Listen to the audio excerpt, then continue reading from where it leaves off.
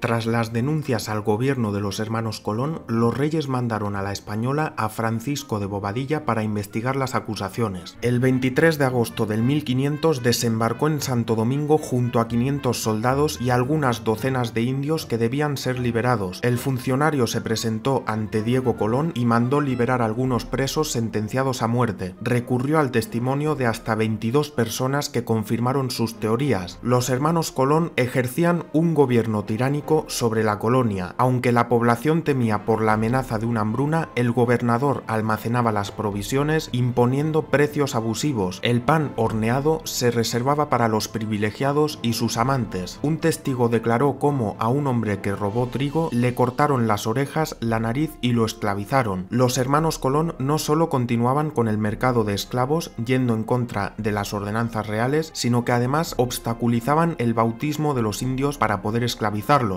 y por si fueran ya pocos delitos, también falsearon las cuentas explotando en secreto el yacimiento de perlas de la isla Margarita, de las que, desde los tiempos de la Reconquista, un quinto de las ganancias pertenecerían al rey. El gobernador puso el broche dorado cuando trató de sublevar a la población local contra el enviado por los reyes. Finalmente, los hermanos Cristóbal, Bartolomé y Diego fueron arrestados y trasladados a la península para ser juzgados. Los reyes, que tras los viajes de varios exploradores y el mapa de Juan de la Cosa sabían que aquellas tierras se trataban de un nuevo mundo, se arrepintieron del trato con Colón y para romperlo argumentaron que él había desobedecido las órdenes reales y había intentado estafar a la corona. Esto derivó en los pleitos colombinos que los descendientes de Colón extendieron hasta el 1790. Desde entonces, las nuevas tierras serían administradas y explotadas por la corona, aunque Colón continuaría recibiendo su 10%. El 15 de abril del 1500 1502, Nicolás de Obando, el nuevo gobernador de las Indias, partió con 31 naves. Le acompañaban 2.500 colonos y 20 mujeres. Isabel la Católica pidió al nuevo gobernador que se fomentaran los matrimonios entre nativos y colonizadores. Obando llevó a la isla caña de azúcar de las Canarias, abrió minas, liberó a los indios de la esclavitud y llevó esclavos africanos para solventar la falta de mano de obra. Exploró el resto de la isla y fundó ciudades, hasta que en 1500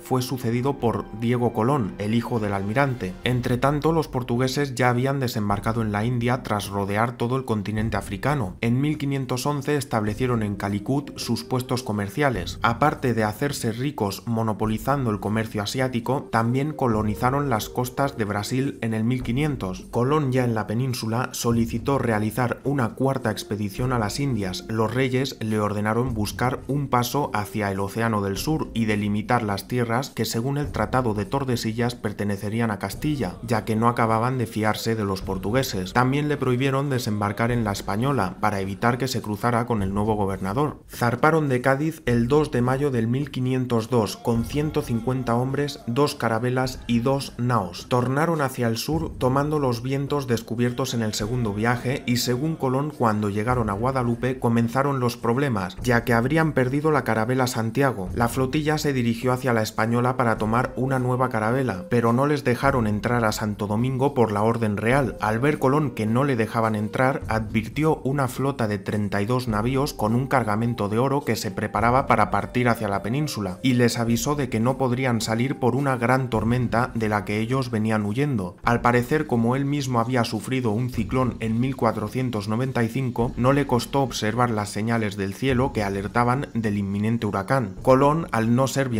se refugió 100 kilómetros al oeste. La noche del 30 de junio, efectivamente, un huracán se llevó todos los tejados en la ciudad de Santo Domingo y la flota que imprudentemente había partido hacia España fue arrasada. En esta flota naufragaron curiosamente Francisco de Bobadilla, que había arrestado a los Colón, y Francisco de Roldán, que se había rebelado contra el gobierno tiránico de los hermanos. Únicamente se salvó una pequeña carabela que se había adelantado y transportaba las rentas Colón. El 14 de julio continuaron hacia el oeste, pasando los jardines de la reina y tocaron tierra desembarcando en la isla de Guanaja. Durante un año recorrieron las costas del Golfo encontrando tormentas y una riada que acabó con dos marineros. Las provisiones se pudrieron y más al sur, entre la niebla espesa, investigaron los pasos de Chiriquí hasta que se dieron cuenta de que era en realidad una laguna. Ya a principios del 1503 llegaron a la desembocadura del río Belén y encontraron indios que vestían con pecheras, brazaletes y diademas de oro. Continuaron bordeando la actual Panamá y le indicaron la existencia de una vía terrestre hacia un gran mar, pero Colón quería llegar con sus carabelas y continuó hasta las costas venezolanas, donde acabó por perder la esperanza y regresar hacia la desembocadura del río Belén para al menos llevarse un cargamento de oro. Llamó a estas tierras Veragua y fundó la factoría de Santa María de Belén, con seis chozas y un depósito. Quería dejar allí 80 hombres y salir al mar a buscar provisiones, pero al cacique Quitián no le gustaron los modales de sus visitantes que pretendían establecerse allí. El cacique se alió con otros caudillos de la zona para eliminar a los españoles que al enterarse Bartolomé Colón enviaron a 31 hombres y acabaron con la amenaza deteniendo al cacique y a su familia. Pero cuando regresaron a la factoría, el cacique maniatado se lanzó al mar consiguiendo liberarse y poner a las tribus locales en pie de guerra.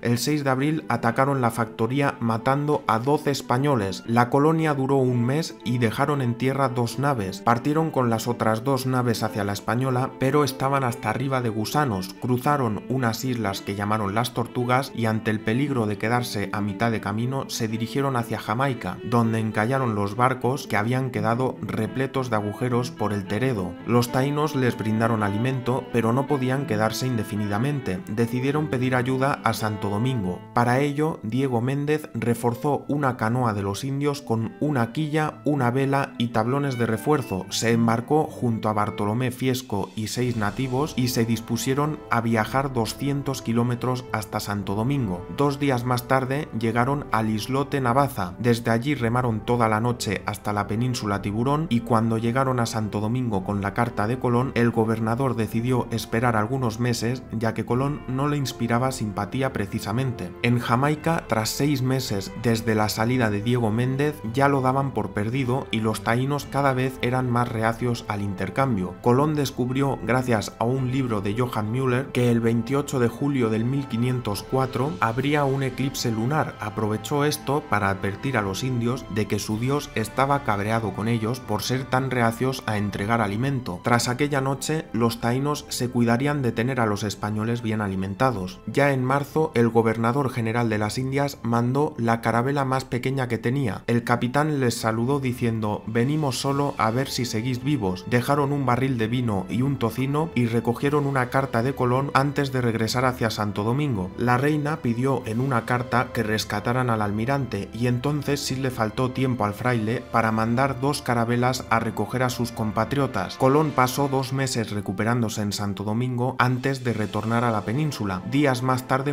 murió la reina Isabel. Colón, que ya no estaba en condiciones de realizar otro viaje, se enfocó entonces en reclamar el contrato que habían roto los reyes, hasta que en 1506 murió de un infarto con 54 años.